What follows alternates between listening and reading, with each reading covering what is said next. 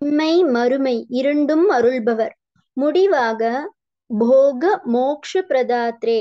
சகல புவன போகங்களையும் அனுபவிக்கும் போக்தா வாஸ்தவத்தில் அவர்தான்.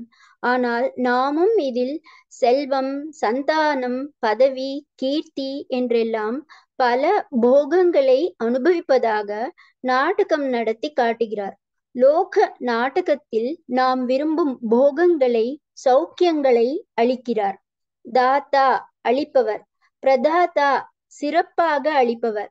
அதுவே நாலாம் வேற்றுமையில் பிரதாத்ரே நாடகம் நடக்கிற மட்டும் நன்றாக நடக்கணும் தான் அதற்கான போகங்களை அருள்வதும் சரிதான்.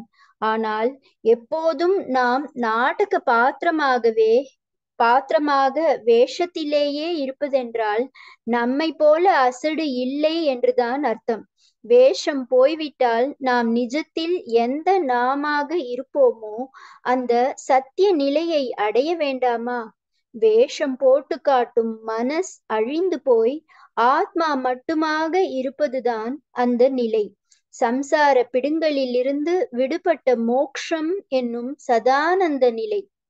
அந்த நிலையையும் அவரே குருகுகனாக தத்துவோபதேச கர்த்தாவாக அஜான துவாந்த சவிதாவாக அள்ளி கொடுக்கிறார். அதாவது மோக்ஷ பிரதாத்தாவாகவும் இருக்கிறார். தனலக்ஷ்மியிடமும் சந்தான லக்ஷ்மியிடமும் மோக்ஷத்தை வேண்டினால் கிடைக்காது. போகம்தான் கிடைக்கும். தட்சிணாமூர்த்தியிடம் போய் போகத்தை கேட்டால் கிடைக்காது. அவர் மோக்ஷம்தான் கொடுப்பார்.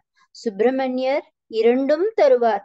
போக மோக்ஷ பிரதாதா இம்மை மறுமை என்ற இரண்டும் தருபவர் அவர். இதற்கு மேலே சொல்ல எதுவும் இல்லை கிருத்தியும் அப்படியே பூர்த்தி ஆகிறது